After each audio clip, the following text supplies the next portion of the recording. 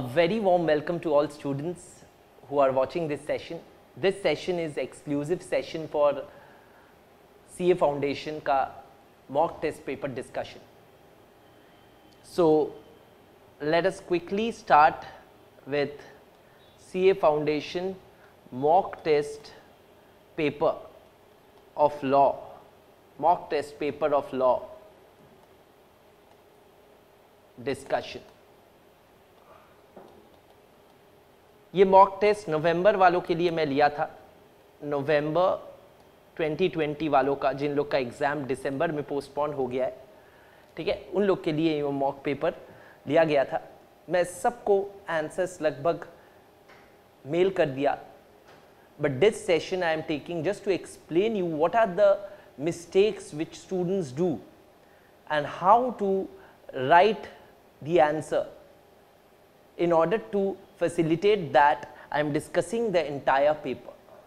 Okay, let us quickly start without any further ado. All right, so I have with me the paper. Okay, so this is the paper if you can see. All right, so there you go. So, Mr. S- the first question. So, if you look at the paper of CA Foundation, यही pattern रहना मतलब रहेगा आप लोग का वहाँ पे यही पैटर्न रहेगा आप लोग का रियल पेपर में, वो है कि आप लोग को question number one compulsorily answer करना पड़ेगा। एंड क्वेश्चन नंबर वन के साथ कोई भी चार, कोई भी चार सवाल। ना ये मैं क्यों बोल रहा हूँ? क्योंकि आप लोग का क्वेश्चन सिलेक्शन भी कभी कभार गलत हो जाता है। देखो क्वेश्चन वन को तो आंसर करना ही है।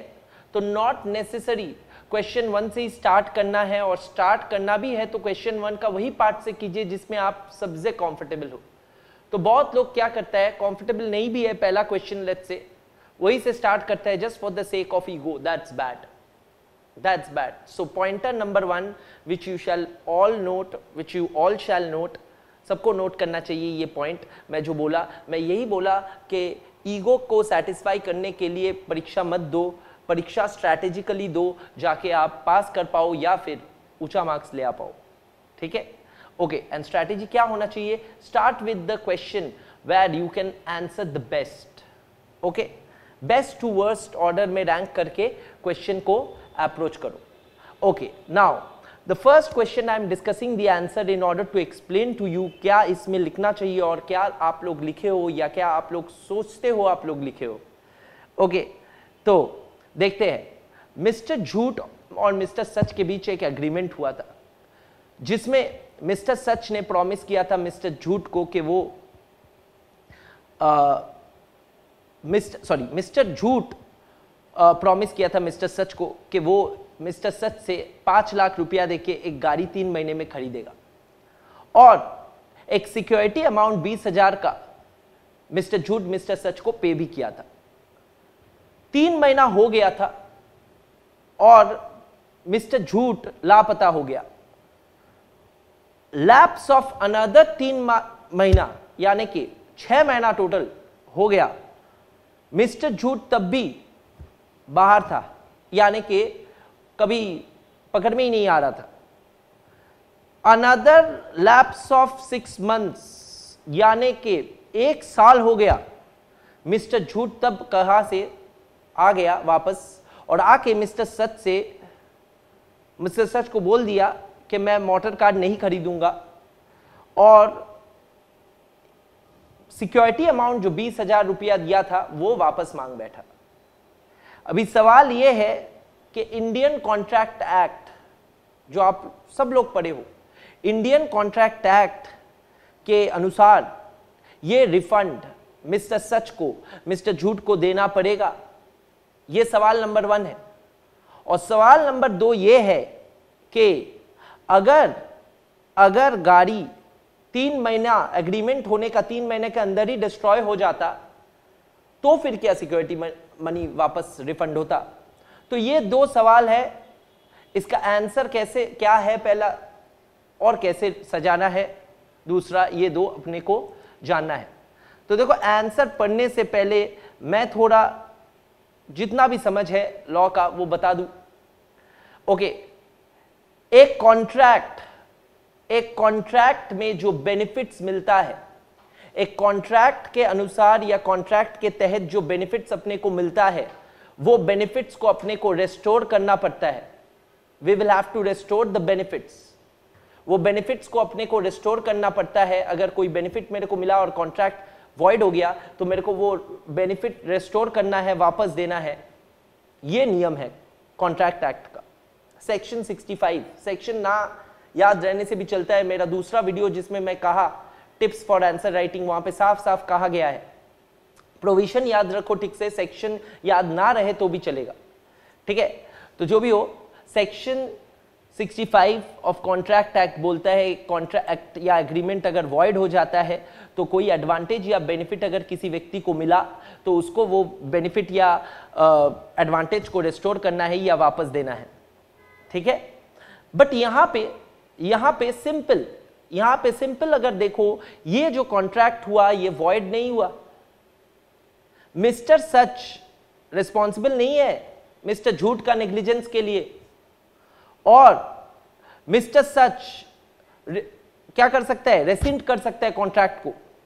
एंड सिक्योरिटी मनी को रिटेन भी कर सकता है, क्योंकि सिक्योरिटी मनी कोई एडवांटेज या बेनिफिट नहीं है। ठीक है? It is a security that the purchaser would fulfil his promise in fact security money का फ़ंक्शन वही है कि वो झूठ झूठ अगर बोले तो बाद में उसको नहीं मिलेगा। क्लियर है? तो यही है, यानी कि part one of the answer सबका सही होता ही है। Part one of the answer should be mister Jhooth is not entitle to a refund but अगर कॉन्ट्रैक्ट वॉइड हो जाता और कब होता? Impossibility of performance how when when तीन महीने के अंदर अगर गाड़ी डिस्ट्रॉय हो जाता, तब जाके वॉइड कॉन्ट्रैक्ट का जो बेनिफिट मिस्टर सच को मिलता, तब उसको वापस देना हो सकता था। क्लियर है? तो ये है funda of how to write the answer अगर आप लोग आंसर पढ़ो स्क्रीन में दिखाई दे रहा होगा, अगर आप लोग आंसर पढ़ो तो देखो आंसर कितना क्रिस्पली लिखा गया है, चार मार्क्स के लिए, ना ज़्यादा, ना कम। एकदम सही है। तो और एक चीज़ गौर करने लायक है, जो बहुत लोग नहीं समझता है, बहुत लोग, बहुत कुछ लिख देता है, इतना कुछ मत लिखो, देखो this is provision this is provision section 65 में क्या कहा गया है वो लिख दिए। स्टैंडर्ड आंसर है, कोई भी के स्टडी बेस्ड क्वेश्चन या कोई भी इनडायरेक्ट क्वेश्चन में। This is facts of the case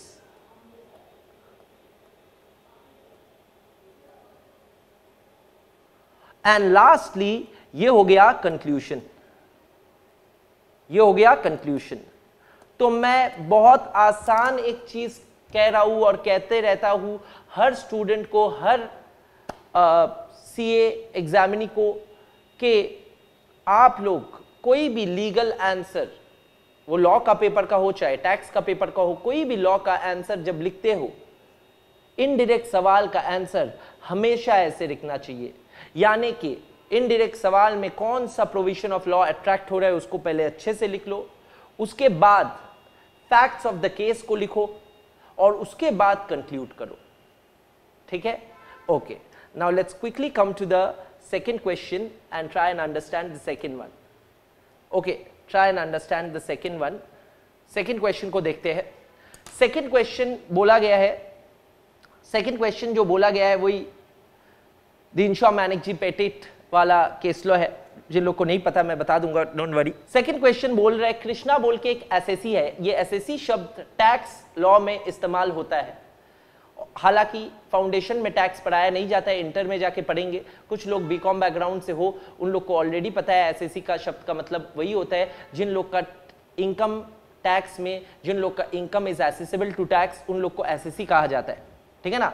और कृष्णा बोल के एक एसएससी है जो बहुत अमीर है, जिसका बहुत सारा अर्निंग है. ठीक है? डिविडेंड एंड इंटरेस्ट अर्निंग है। ये तीन, ये अपना कंपनी से बहुत डिविडेंड और बहुत इंटरेस्ट कमा रहे हैं मतलब ठीक है? शेयर होल्डर है डिवेंचर होल्डर है, ठीक है? अब ये तीन प्राइवेट लिमिटेड कंपनी खोल लिया। एंड ये तीनों प्राइवेट लिमिटेड कंपनी का खुद ही इन्वेस्टर है। And dividend and interest income जो रिसीव हुआ by the companies was handed back to Krishna as a pretended loan. अब समझो चीज़ को। ये जो डिविडेंड एंड इंटरेस्ट का ह्यूज कमाई है, इसमें जाके टैक्स ना देना पड़े। वो डिविडेंड और इंटरेस्ट बोल के ना लेके, तीन शेल कंपनीज़ खोल के, वहाँ से लोन बोल के ले रहे। तो सोचो this way Krishna divided his income into three parts एक तो तीन हिस्सों में टूट गया, छोटा हो गया इनकम एंड टैक्स लाइबिलिटी भी घट गया। Decide for what purpose for what purpose the three companies were established दो सवाल है, देखो सवाल कितना है, हमेशा सोचो, दिमाग में सॉर्ट कर लो। बहुत लोग देखता ही नहीं है सवाल क्या है। Whether the legal personality of all three companies में बी डिसरिगार्डेड तो जैसे ही हम लोग सवाल पढ़ते हैं, हम लोग का दिमाग में एक आ जाना चाहिए कि आंसर कैसे फ्रेम करे और कौन सा लॉ अट्रैक्ट हो रहा है, ये तो कंपनीज़ एक्ट है सर। पहला वाला जैसा कॉन्ट्रैक्ट एक्ट था, ये कंपनीज़ एक्ट 2013 और उसके साथ साथ कॉन्सेप्ट जो एसोसिएटेड कॉन्सेप्ट है, वो है lifting of the corporate veil lifting of corporate veil ठीक है ना? तो lifting of corporate veil and companies act 2013 का सवाल है। हाँ बिल्कुल। हाँ बिल्कुल। आंसर कैसे लिखना है? पहले प्रोविज़न इन लॉ लिखना है। और उसके बाद फैक्ट्स को समझाना है कृष्णा ने क्या किया गलत किया ठीक है? और लिफ्टिंग ऑफ़ कॉर्पोरेट व्हील कब कब अलाउड है? यूजुअली तो कंपनी का सेपरेट लीगल एंटिटी होता है but lifting of corporate veil कभी कभी अलाउ किया जाता है कब कब अलाउड है? ठीक है? तो आंसर कैसे लिखेंगे देखते हैं। चलिए आंसर मैं डिस्कस तो कर दिया मेरी तरफ़ से आ, मेरी तरफ़ से बट एक बार देख लेते हैं। देखो पहला ही चीज़ बोला सैलोमन वर्सेस सैलोमन जो केस लॉ उसका रेफरेंस दिया।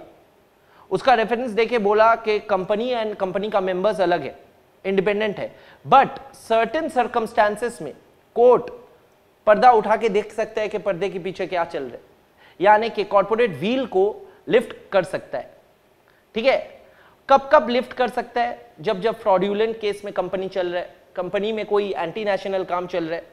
Company you know tax evade करने के लिए बनाया गया है। ठीक है? तो यहाँ पे ये लॉ बोलने के बाद, ये लॉ बोल दिए पहले पैरा में प्रोविज़न ऑफ़ लॉ फिर देखो फैक्ट्स ऑफ़ द केस में आगे।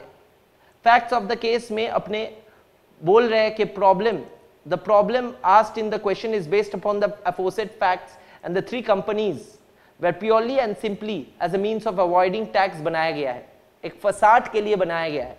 Therefore, the whole idea of mr. Krishna, ये question one का पार्ट वन का आंसर है।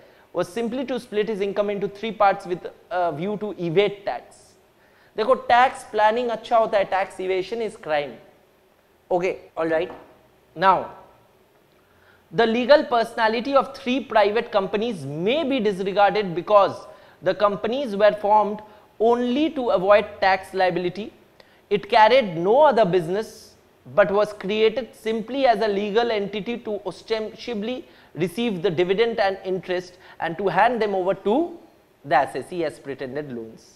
तो क्वेश्चन वन एंड टू है तो दोनों पार्ट में आंसर दिए पहले प्रोविज़न इन लॉ को अच्छे से समझा के। क्लियर है? तो this is how you write answer बहुत लोग सोच रहे थे कि कैसे लिखो? ऐसे लिखना पड़ेगा। नाउ वन का जो पार्ट थ्री था, वो एक डायरेक्ट क्वेश्चन है। देखो डायरेक्ट क्वेश्चन बोल के मैं इस वीडियो का समय बढ़ाऊँगा नहीं।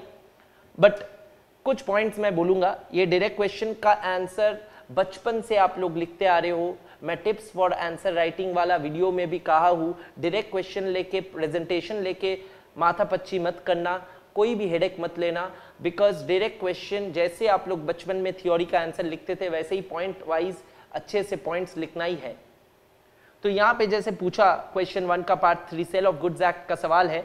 बोला essential elements of a contract of sale देखो ना देख के मैं कुछ डिस्कस करना चाहता हूँ तुम लोग भूल जाते हो बहुत लोग जनरल आंसर लिखे थे जो लोग पढ़े नहीं essentials of a contract of sale में at least two parties must be there and the name of the parties is a buyer and a seller one who buys or agrees to buy one who sells or agrees to sell उसके बाद price must be in terms of money and price shall be the only consideration उसके बाद property in goods property in goods must be transferred कुछ लोग लिखे हो immediate delivery immediate transfer ऐसा कुछ लिखो गलत है। गलत लिखे हो। ठीक है? Lastly lastly uh, other essential elements of a valid contract. तो देखो and subject matter must be goods. ठीक है? तो देखो at least two parties subject matter of the contract necessarily goods price in money ठीक है? Transfer of property in goods and all other essential elements of a valid contract उसके साथ और एक पॉइंट मैं वर्बली मिस कर गया, वो है कॉन्ट्रैक्ट ऑफ़ सेल एब्सोल्यूट भी हो सकता है कंडीशनल भी हो सकता है। छह पॉइंट लिख दिया, बस और क्या चाहिए? चार में चार फोर आउट ऑफ़ फोर सही पॉइंट्स लिखो, गलत पॉइंट्स मत लिखो। जहाँ पे नहीं मालूम है, छोड़ दो आंसर ठीक है don't make up your answer उससे क्या होता है एग्जामिनर जो है, उनका इंप्रेशन तुम में गलत हो जाता है। तुम्हारा ऊपर उनका इंप्रेशन जो जम रहा है वो गलत हो जाता है। ठीक है? Okay now come to question two same चीज़ है सर डायरेक्ट क्वेश्चन है आप ना बताने से भी चलेगा आंसर देख लेना क्या डिस्कस करूँ? Various modes of revocation of offer so I am not discussing you know most of you have got this correct मैं जो कॉपीज चेक किया you have got marks in this uh, question. No one has got uh, मतलब poor marks in this question. Two का one okay two का two इसमें मैं एक common mistake note किया हूँ। बहुत ही कॉमन मिस्टेक मतलब ऑलमोस्ट बहुत लोग ये गलती किया है। वो है, जिन लोग को ये हालाँकि बहुत आसान था, जिन लोग को पता नहीं, वो लोग ना ये मेंबर्स के साथ पार्टनर्स और पार्टनर्स के साथ डायरेक्टर्स को कंफ्यूज कर गया काफ़ी लोग इफ़ नॉट ऑल ठीक है? तो please do not confuse please do not confuse between partners partners partnership firm में रहता है या एलएलपी में रहता है। और पार्टनर्स में से कुछ लोगों को डेजिग्नेटेड पार्टनर्स बनाया जाता है। The term is designated partners and members company में रहता है और मेंबर्स ऑफ़ अ कंपनी को अपने शेयर होल्डर्स बोलते हैं। और शेयर होल्डर्स में से या मेंबर्स में से कुछ लोगों को अपॉइंट किया जाता है एज डायरेक्टर्स ठीक है ना? तो ये चीज़ को दिमाग में रखो, बाकी कुछ बोलना नहीं है। Question number three question number three का ए में अगर आओगे तो देखो, ये क्वेश्चन में भी मेरे को एक चीज़ बहुत अच्छे से समझाना है। वो है whether a minor may be admitted in the business of a partnership firm इस आंसर को लिखते वक्त सिर्फ़ तीन या चार जन का कॉपीज में एकदम परफेक्शन के साथ लिखा था। बाकी सबका यहाँ वहाँ थोड़ा घुमाए पहला चीज़ जो साफ़ साफ़ आपको बताना है, वो है can a minor become a partner the answer is always no a minor can not become a full fledged partner in a partnership firm due to his inability to enter into a valid contract. Any contract with a minor is void ab initio. पढ़े थे ना Mohori Bibi versus Dharmadas Ghosh in the Indian contract act sir वो तो contract act है but कानून तो कानून है बेटा partnership has to be an agreement और अ वैलिड कॉन्ट्रैक्ट और वैलिड कॉन्ट्रैक्ट फॉर्म करने के लिए you need major parties a minor can not enter into a valid contract हाँ ना?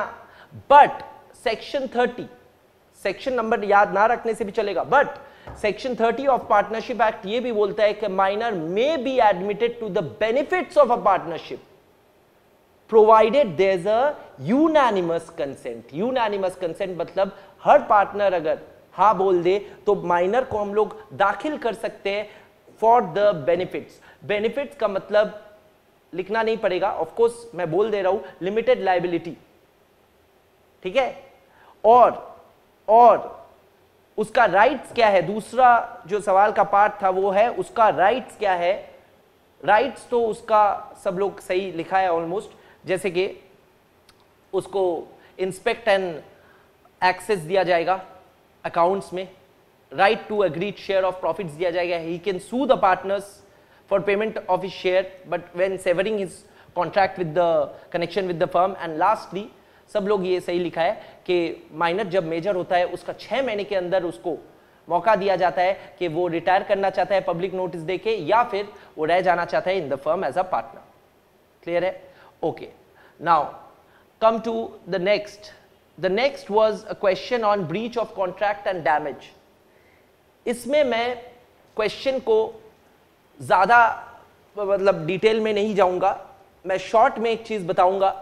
वो चीज़ ये है कि पहले इसमें प्रोविज़न इन लॉ इसमें प्रोविज़न इन लॉ जब लिख रहे हो तो लिखो डैमेज क्यों किसको कौन देता है। ब्रीच ऑफ़ कॉन्ट्रैक्ट के लिए डैमेज दिया जाता है। अग्रीव पार्टी या इंजर्ड पार्टी को मिलेगा। और जो गलत पार्टी है वो देगा। इसको साफ़ साफ़ लिखना है। सीधा हिसाब। उसके बाद फैक्ट्स ऑफ़ द केस में आना है और फैक्ट्स ऑफ़ द केस में सीधा हिसाब। इसमें सरकमस्टांसेस सरकमस्टांसेस एक्स ने वाई को बता दिया था। एक्स ने वाई को बता दिया था और जेड से जेड से खरीदेगा ये भी बता दिया था।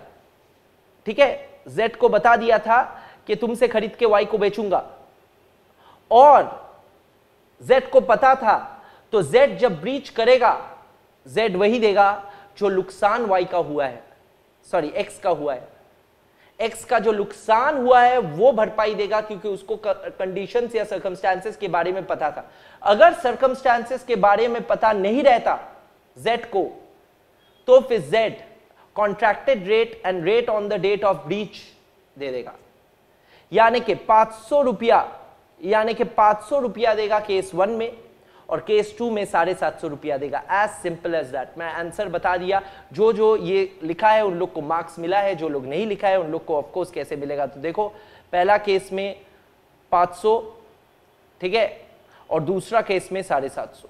मैं जस्ट जिस दिखाया आंसर लिखा हुआ है of course answer I have shared with you and of course you have to refer to the important judicial decision यहाँ पे हैडली वर्सेस वैक्सेंडेल वाला केस अट्रैक्ट हुआ था। Okay now question four question four में अगर आओ तो कैवियर टेम्पटर का सवाल था। कैवियर टेम्पटर का मतलब है let the buyer beware let the buyer beware beware का मतलब है सावधान। तो लेट द बायर बिवेयर को बहुत लोग ना ऐसे लिखता है buyer be aware be aware और बी बिवेयर में थोड़ा सा फ़र्क है। थोड़ा सा नहीं, सर, बहुत सा फ़र्क है हाँ। तो प्लीज़ इंग्लिश को लाइटली मत लीजिए, ठीक है? फ़र्क है, समझिए शब्दों को डिक्शनरी खोलिए गूगल देखिए। मेरे से पूछ लीजिए, कोई दिक्कत नहीं है, मेरा नंबर है आपके पास, ठीक है? तो ये गलती बहुत लोग किया है इंप्रेशन गलत होता है। दूसरा बात, ज़्यादातर लोग यही लिखा है ठीक है? उसके बाद ये जो सवाल था, ये डायरेक्ट लेवल का सवाल था एक्सेप्शन टू कैवे टेम्पटर पूछा गया था और सब लोग ऑलमोस्ट सही आंसर इसका दिया है तो इसमें डिस्कशन ज़्यादा कुछ नहीं है। ठीक है? Okay now coming to the next part of question four which was implied authority of a partner implied authority of a partner में सिंपल सवाल ये था कि अगर अगर आप अगर आप पार्टनर्स के बीच अगर रोल्स चेंज हुआ है और वो रोल चेंज बाहर वाले को पता है, बाहर वाले को पता है तो बाहर वाला क्या फर्म से कुछ क्लेम कर पाएगा? और बाहर वालों को अगर पता नहीं है और रोल चेंज हुआ है और ऐसा एक्टिविटी में implied authority of a partner रहता है तो फिर क्या होगा? तो सिंपल सवाल है, अगर रोल चेंज के बारे में नॉलेज बाहर वाले को नहीं है और रोल चेंज हुआ है तो फिर पार्टनर का इंप्लाइड ऑथोरिटी ऐसा एक्टिविटी में है, बाहर वाला ये सोच के अगर पार्टनर को पैसा दिया है तो firm will become liable and firm will not be liable अगर बाहर वालों को पता है कि रोल चेंज हुआ है और ये पार्टनर ये एक्टिविटी नहीं कर पाता। ये लिखना था ये जो लोग लिखे, अच्छे से प्रोविज़न लिख के उन लोग को मार्क्स मिला है। Coming to question five question number five was a question from sale of goods act और यहाँ पे सेल ऑन अप्रूवल बेसिस पे सवाल था। Sale on approval basis sale on approval basis में मैं क्या पढ़ाया था? मैं, ये सवाल में आप लोग को लिखना पड़ेगा simply sale of goods on approval जब होता है कब कब अप्रूवल माना जाता है कब कब सेल हो जाता है। तीन कंडीशन था, याद करो। तीन कंडीशन था, तीन कंडीशन को आप लोग लिखे हो most of you have written ठीक है? जब एक्सेप्टेंस या अप्रूवल एक्सप्रेसली बोल देता है बायर सेलर को, जब टाइम अप हो जाता है, और या फिर जब वो कुछ करता है जिससे कि you know which is equivalent to accepting the goods जैसे कि प्लेच कर दिया रीसेल कर दिया। तो यहाँ पे प्लेच कर दिया था बायर ने तो जैसे ही प्लेच कर दिया, ये सेल हो गया। और सेल हो जाने के बाद प्रॉपर्टी इन गुड्स पे अधिकार सेलर का नहीं रहता है। Seller can not ask back, claim back the motor car. But she can only claim the price of goods from the buyer. Clear है? यही आंसर बहुत लोग ने लिखा है। ये आंसर सही है।